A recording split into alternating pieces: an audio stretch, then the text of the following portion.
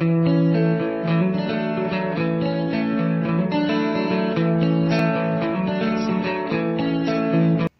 everyone, today we are going to see inverse of a matrix by using Cayley-Hamilton theorem. Here we have given matrix A of order 3 by 3. So here we have to find A inverse. So for this we should check whether inverse of this matrix exists or not. For this we have to find determinant of this matrix. So we will find this determinant A here. So what is the determinant for this matrix? we know how to find this is here yes so we got here determinant of this matrix is equals to here 6 and that is here not equals to 0 that means matrix A is here non-singular right so that means what does this implies? That means A inverse exists here right? So now we can find inverse of this matrix.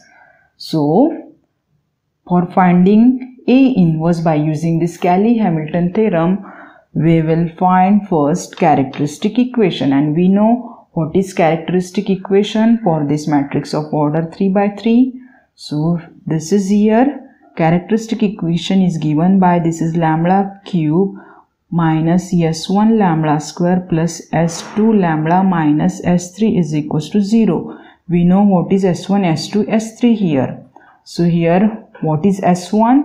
S1 is sum of diagonal elements. So we will write here all these diagonal elements and its sum is here we get 6. What is S2? S2 is sum of minors of diagonal element.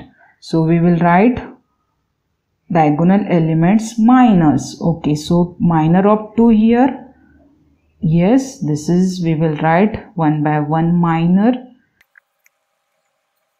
yes now we have to simplify this is here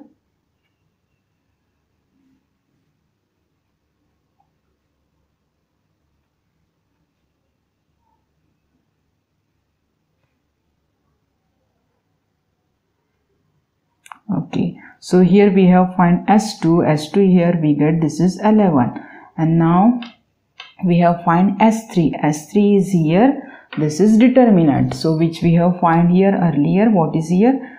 This is we get here S3 is equals to 6 now we have to put all these values in the general form of this characteristic equation. So we will put all these values here. So we get this is here lambda cube minus this is 6 lambda square plus S2 is here L1 lambda minus S3. S3 is here 6. So this is the characteristic equation for this given matrix. So we got here characteristic equation. Now we have to write by Cayley-Hamilton theorem. So we know what is the statement of Cayley-Hamilton theorem. This theorem states that every square matrix satisfies its own characteristic equation. So by using this characteristic equation, what we have to write, we have to replace this lambda is equals to this matrix A. So we get here this equation in the form of matrix. So here we have this is identity matrix of order 3 by 3 so we have written this is here by using Cayley-Hamilton theorem. Now to find A inverse so what we have to do we will multiply we will so to find A inverse we will pre-multiply this by A inverse to this equation, right? So we will get here, this is A inverse into A cube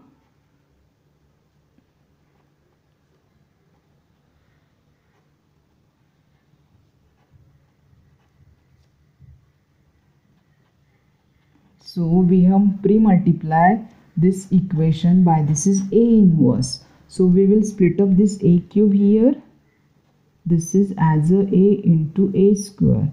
Similarly this a square as a a into a. Now yes here we have this is a here. So this is 11a inverse into a minus 6a inverse into i yes so we know this results here. When we have this is a inverse into a this is equals to identity matrix. Similarly when we multiply any matrix by identity matrix we get here this original matrix a right? So by using all these results we have to write here this is here identity matrix. Similarly here we have identity matrix into this matrix A plus this is again here we have this is identity matrix and here this is we have this A inverse into I means here we have this is A inverse right? So we get here equals to 0 now here we have this is a square minus again this is here 6a plus 11i minus 6a inverse. Now to find a inverse we will shift here so we get this is here a square minus 6a plus 11i so we get here this is a inverse is equals to this is 1 by 6 into a square minus 6a plus 11i. Yes, so by using this result we have to find a inverse. How we have find this here, this formula or this result by using this Cayley-Hamilton theorem statement. So for this we need here a square. So we will find here a square. So what is a square now? So this here a square, this is a into a. So we will write matrix A here which is given by this one. Yes. Now we have to do the multiplication for this 2 matrix. We know how to find the multiplication for this one here. So we will write here this is we know how to do the multiplication this is by row of first matrix to the column of the second matrix. So we will write here this is